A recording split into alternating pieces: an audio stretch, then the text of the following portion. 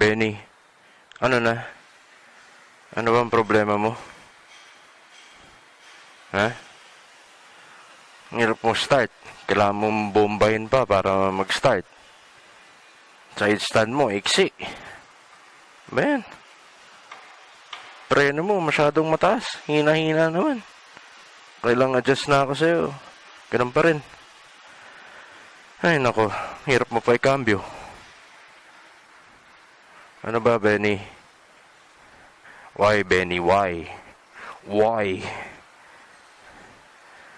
Ang gastos mo pa. Ang dami kong nang ginawa sa'yo. Hindi ka pa rin tapos. Upgrade dito, upgrade dyan. Pugi mo.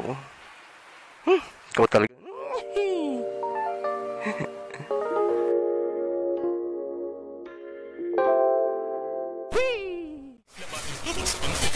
What's up mga kapotpot? Mr. Kalakalier and welcome to the vlog. So, yun nga mga kapotpot, nakita niyo yung intro natin ng video na to. So, dun din sa thumbnail. So, this uh, afternoon, we're gonna talk about my top 5 problems that I have encountered with uh, my bike. Itong si Benny, uh, Keyway Cafe Racer 152. And uh, how did I go about it?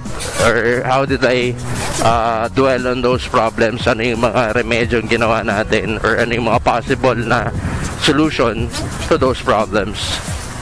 Alright? So, yan. Uh, kung mapapansin nyo, nandito na naman tayo pag Green Hills. Uh, may container kasi dumating sa Banawe. Mga ngalakal muna tayo ulit. We're gonna check sa Banawe anong meron ngayon nakalakal doon. Then after nun, baba muna sa kondo yung mga kalakal. Then uh, takbo tayo Green Park kila Mechanico Customs. Okay? So to start off with the vlog, um, yun, yung first, I mean, yung top 5 problem ko is uh, yung starting issues niya. Okay? So, yung starting issues kasi, uh, na-encounter ko dito, uh, ayaw niya mag-start yung, ito lang, yung push start lang papaganahin mo. Mas, mas gusto niya yung medyo bobomba mo ng konti. Yeah, gusto niya yung tinitwist yung throttle. So, uh, hindi ko pa alam kung ano yung cure doon, pero some uh, owners, uh, what they said is, uh, yun nga, nagkabit sila ng, uh, nagpalit sila ng carb, pero ang pinalit daw nila is yung pan TMX. But according to Jason, wala. Ganun daw talaga. Uh, may, meron siyang na-encounter, pinalitan ng carb. Pero, singit muna tayo dito. Thanks for blocking the way. Time.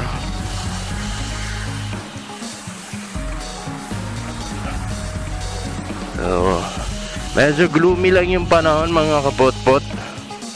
Yan, di na tayo nag-jacket. Ganun na lang tayo. Nag, uh, what do you call this, uh, long sleeves. Pero syempre, suot ko pa rin full face helmet. So ayan, oh, parang ganito guys, oh, yung starting uh, dilemma ko with the bike. Start.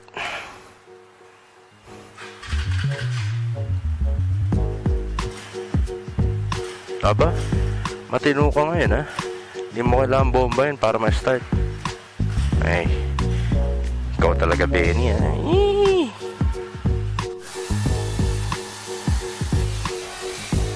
Okay, so yun. Uh, nagkataon lang yung startup ko kanina is wala masyadong drama. Pero normally, if you will start the bike, mas gusto niya yung ganito. Tinitwist mo yung throttle as you started. Start then twist throttle.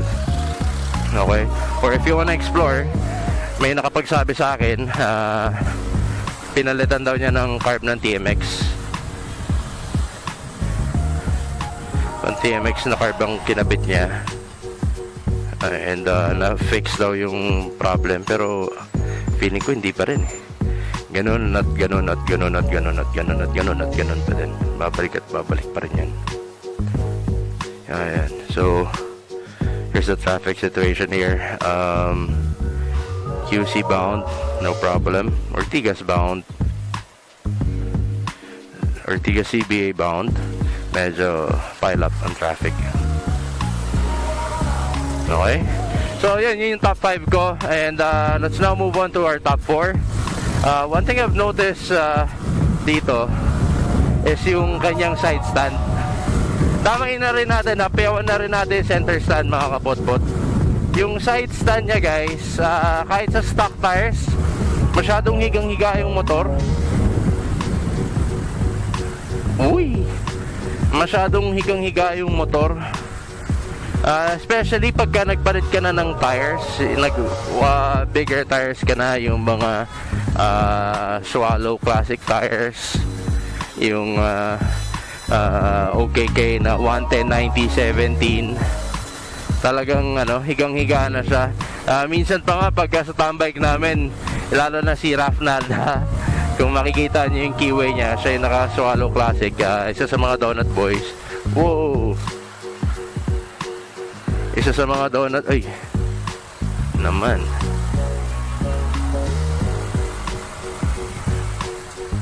Isa sa mga donut boys. Yan may baon laging bato. Uh, until uh, eventually ang solution natin dyan guys is uh, yun nga. Uh, sabi ko dali niya kay Jason sa Rusi Junction. So pinalitan lang ng side stand. Ang kinabit pang uh, TC150 pwede. Or pang Sigma. Pwede yun. Para hindi masyadong nakaliad yung motor. Ay wow. Nice bike. Ducati.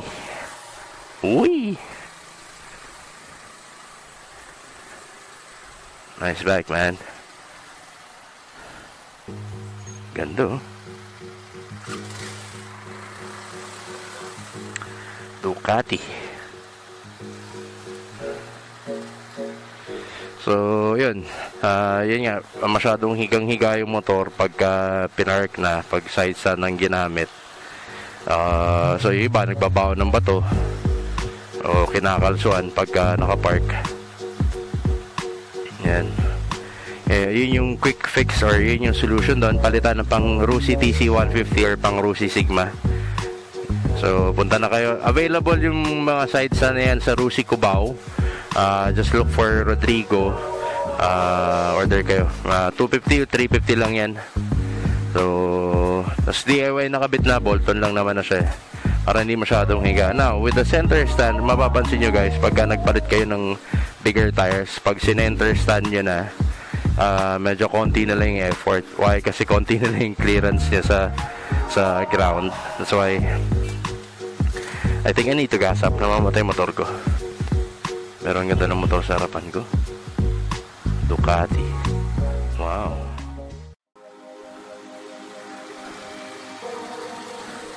Very conyo.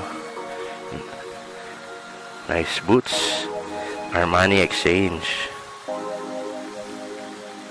So, yun. Yun yung solution doon sa problema na yan. So, sa center stand naman, ang pwedeng gawin dyan, since bitin na nga, ang posible natin pwedeng gawin dyan is yun. Uh, yung dulo, yung pitan ng side stand, anong center stand nyo, uh, dagdagan nyo ng flat bar so i-shape nyo lang na maganda nakasukat doon sa flat bar na meron I mean kasukat nung ano natin kasukat nung uh, pweta nung center stand nyo then saka nyo pa welding. Papansin nyo tataas na. So mas maganda na yung yung function nung ano nung cent nung center stand. Uh, so yun yung quick solution and uh, cheapest solution. Isa mag figure out pa kayo nung malinis pa rin naman tignan mga kapotpot eh. Malinis pa rin siya tignan hindi naman siya madusing or mukhang nilagay lang basta make sure na kurbang kurbada sa ano nakakurba doon sa peta nung center stand natin kaya yun right so andito na tayo sa ano uh, and Domingo. And I need to gas up. Kita na kayo. Ayan ako, ang weak. Up, malaki, malaki ang butas. Gagawa mo.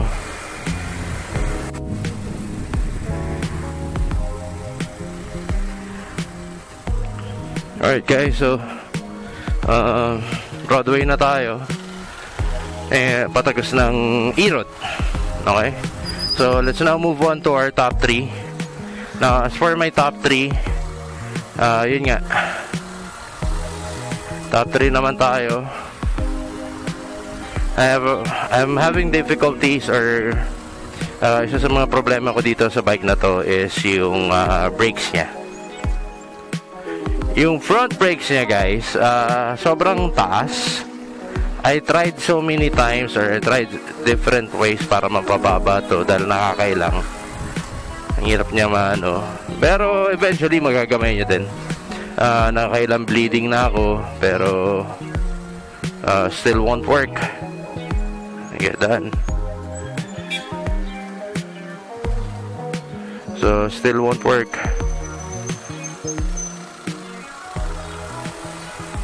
Kahit nakailang bleeding na tayo,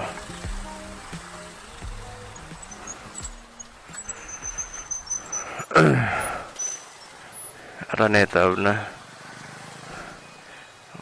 Please, huwag ka naman umulan. Wala tayong kapote.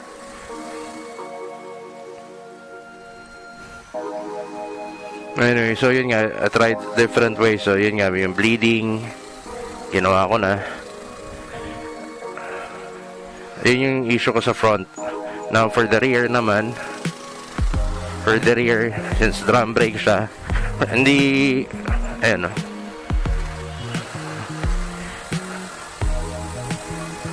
Hindi siya ganun kalakas. Sige, ipit pa.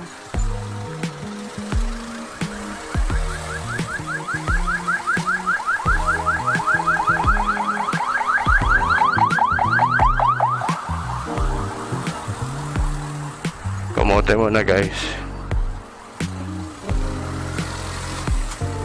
So, yun. Na, hindi naman siya ganun ka big deal yung sa brakes niya.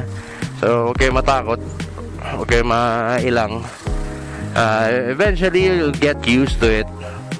Magagamay nyo rin yung uh, brakes niya. Yun lang talaga. May factor, i-factor in din natin pagka nagpalit tayo ng bigger tires, bigger rims. Siyempre, yung diameter niya lumaki medyo hirap pa yun to eh. Hindi naman to katulad ng kotse na you can upgrade to bigger brakes. Eh, or hindi ko lang pa na-explore ko ano yun. Ano yung mga upgrades, brake upgrades nito.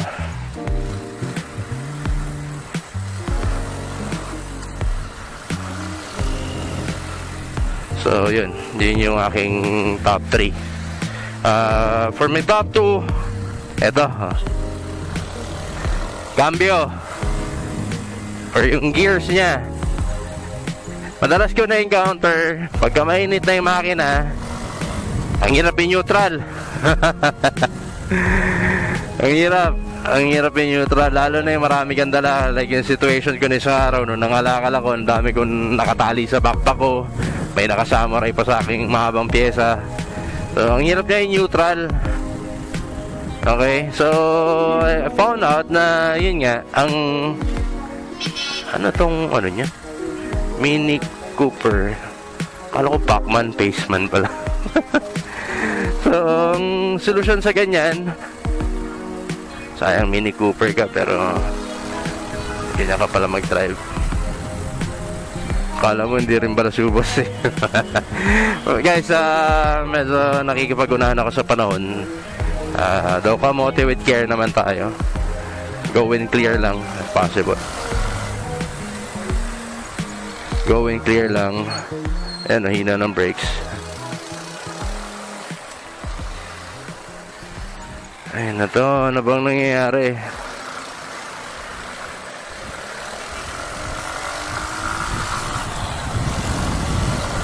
So yun nga yung cambio ang hirap niya ano ilagay sa neutral. Hindi naman hindi naman palagi hindi naman palagi, guys. Hindi siya palagi. Don't get me wrong. Okay, hindi siya palagi. Pero yun yung mga, isa sa mga problema na na-encounter ko. Meanwhile, guys, I have to gas up muna dito. And babalikan ko kayo later. Alright? Ciao! Wee!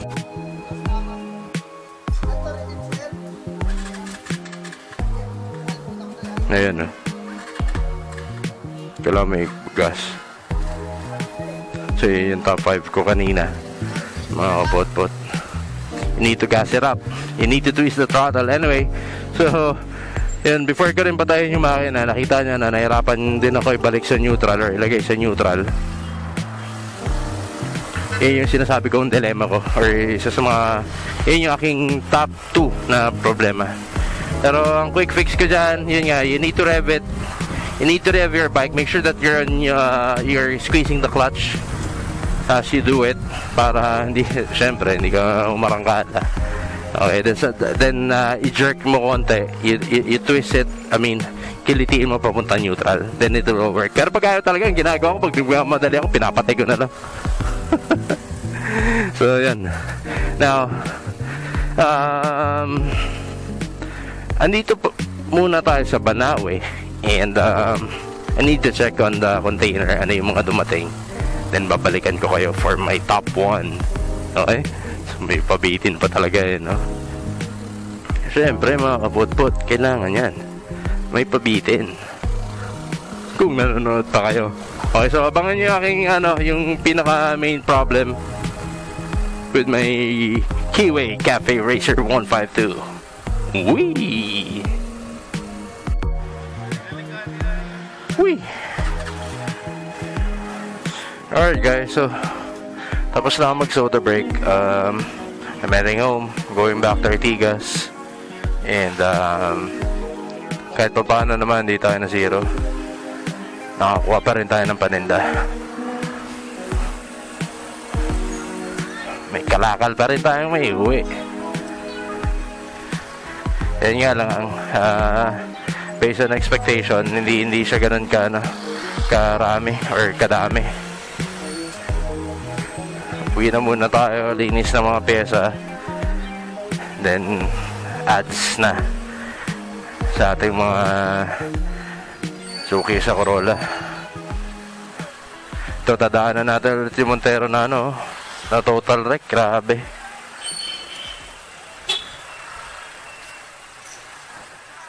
Boom. Grabe. Nakahuyan na. Wreck na wreck. Meanwhile guys, so biyahe muna tayo pabalik and um, in continuation of our ano, uh, discussion, so quick recap. Uh, yun nga, yung we're talking about my top 5 problems uh, with this bike. Yo, so una-una, yun nga, yung uh, what do you call this? Starting problems niya, you need to twist the throttle para tuloy-tuloy yung start. Hindi lang siya mag-aasa sa, ano, sa push start. Then, um, next is yung side stand niya, masyadong maiksi. Kaya higang-higa yung motor, konting tabig, tutumba. Especially pagka nag-upgrade na tayo ng mga tires. So, ang solution dyan, we, we need to change the, ano, ng bata. Yeah, we need to change the, uh, uh, sides and replace it with a Rusi TC 150 or Rusi Sigma. Or try nyo rin sa ibang motor, yung mga pang TMX, maliit din. Maliit din siya. So, next naman, sa top 3 ko is yung brakes niya. Uh, masyadong mahina. That's why, uh, kailangan mo talaga matutunan mag-downshift. Uh, wherein, gano'n naman talaga dapat. Uh, don't, don't just rely on the brakes especially kung upgraded yung bike mo. Stock brakes pa rin tayo eh ba? Diba? pinabilis natin yung motor natin or pinalaki natin yung mga gulong natin but we're still using yung stock brakes. Wala pa naman akong nalalaman or nadidiscover uh, ng brake upgrade. Okay? And uh, top 2 is yung cambio. Uh, sabi ko nga ang problema ko dito uh, nahirapan ako ibalik sa neutral or nahirapan akong i-shift sa neutral pagka ano pagka mainit na yung makina. So ang, ang solution dyan i-revolution mo i-rev your bike. Or pagka nagmamadali ka hindi mo talaga mahuli yung kiliti niya gawin mo patay mo yung makina. At saka mo yan no? pogi nito classic 250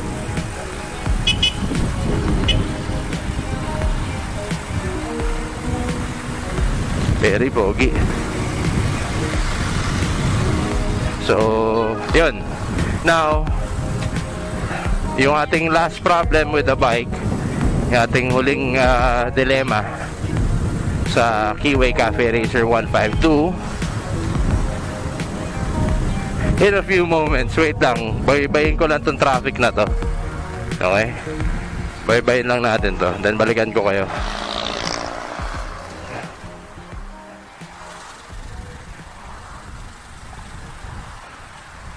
balikan ko kayo. And we're back mga kapot-pot. Dito na tayo sa Broadway Avenue. So My number one dilemma Or my number one problem with this bike is Yun, napaka-pogi. Or ang daming ways para papuguin pa itong motor na to. And nauubos na Ang ating budget So, ganun siya ka-diversified itong motor na to guys Seryoso, para sa akin problema yun. I don't know, what, should I do with the bike? Alam mo yun? Yung never-ending uh, customization, never-ending upgrade, never-ending sa lahat. Yung akala mo natapos ka na uh, sa mga gusto mong gawin, bigla may mag- iisipan ka na naman na gustong gawin. Okay? So, though pwede ka rin naman tumigil at makontento, pero uh, typical uh, human being isa yan sa ating dilemma pero kidding aside guys um, yun nga so sobrang diversified nitong motor na to there are so many uh, upgrades na posible na magawa dito aesthetically performance wise and uh, yun kung pwede nga lang din mag change engine mag change engine na rin eh ba I'm not sure. Hindi ko pa na-explore yung part na yun sa mga motor. Kung possible ba ang change engine. Pero yun, yung isa sa problema ko. Never ending gastos para lang papugiin pa lalo. Pogi na siya on, on its form pero ayun nga, eh, di ba? Uh, ika sa car scene na fox stock. Parang ganyan. Wee! Nag-style dito in Domingo. And Green Hill. So, yun. Uh, those are the five problems that I've encountered uh, with the bike. Itong Keyway Cafe Racer 152. And uh, none of them are a serious problem. Uh, what I meant is, uh, hindi siya ganun ka, ano, major issue. Uh, there's always a solution sa mga problema na nabigkas ko. Although, uh, sa mga Facebook groups, ang dami ko napapansin na yun nga, uh, maingay daw. Meron pang kailangan i-shave or palitan yung rocker arm, ganyan-ganyan, i-reangle. Pero the mere fact na uh, Keyway or Benelli has been in the industry for quite some time, ibig sabihin may R&D rin sila. Okay? So, hindi naman sila magbebenta ng ikasisira din nila. So, we just have to satisfy ourselves and at the same time, don't expect too much. This is only a 150cc bike. And, uh, yun nga, we have to consider we only got this for 53,800. Diba? So, don't expect that the bike will run as if it's a, uh, what?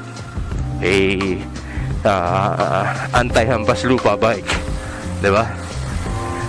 So, andito na tayo sa Ortigas Avenue. The good thing in riding a motorcycle in Metro Manila is ganito. You get to avoid. Pero dito ako sumemplang nun with my Mojo 200, yan know, yung lubog na yan. Tumaan ako dyan. Then, uh, syempre, bago pa lang tayo nun, hindi pa tayo sanay sa motor. Nasanay tayo sa kotse na dahan-dahan pagka uh, yung mga ito dito ako tumalembang yan, dito sa video na to. Yan, yan, yan. So, para hindi ko ma-disgrasya yung views na katabi ko sa aking katangahan, yan, ang hinarang ko yung katawan ko para hindi siya ma-damage, hindi ako makabala na ibang tao. Yun nga lang, sakit ng katawan ko kasi tinukod mo eh. Anyway, so, yun. Um, it can be avoided yung mga nababasa natin sa Facebook groups na yung, yung maingay. So, how can it be avoided? Yun, tama change oil. Uh, monitor your oils uh, every now and then, mga kapot-pot. Uh, yeah, lalo na yung mga kakakuha lang nung Christmas season, nung um, keyway nila. Pa-change oil nyo kagad. 1 liter lang naman yan. It wouldn't hurt your budget. It will not hurt your budget. So ito, stuck sa traffic. Uh, ang hirap na naman hanapin neutral. So, pero eventually, you'll, you'll get used to it. Okay? So, yun lang mga kabotbot. I do hope na i-share ko sa inyo yung mga uh, bagay-bagay na ito. And, uh, no, uh, don't get uh, devastated if you encounter problems with your bike. Uh, despite yung mga ganong kakulangan niya. Again, uh, don't expect too much uh, para malesen yung disappointment. And uh, look for a solution. Okay, so if you need me- mechanical assistance, my mechanic si yung ating trusted mechanic na si Jason from Rusi Junction is very much willing to help you. So, wag niyo lang basta-basta papabukas yung makina niyo kung kani-kanino lang uh, dapat yung mapagkakatiwalaan. Right? So, uwi na muna tayo. Bye-bye ko lang tong traffic. Then, balikan ko kayo for the outro. Ciao.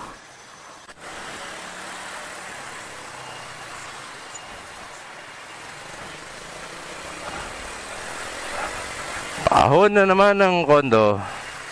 Pahon na naman ng Ortigas. Whoop.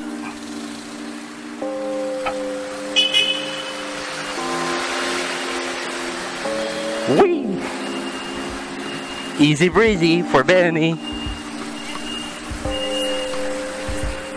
So yun mga kabot-bot, if may naisipan pa tayong i-share sa inyo about the bikes, gagawa ko rin si Rusi Classic 250 na ganito, yung top 5 problems ko with the bike and ano yung quick solution na ginawa natin or long term solution na ginawa natin.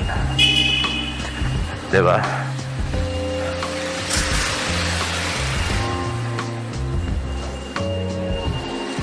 para para masaya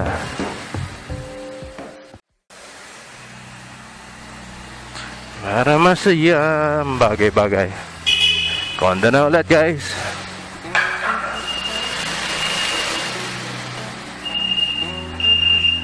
konda na ulit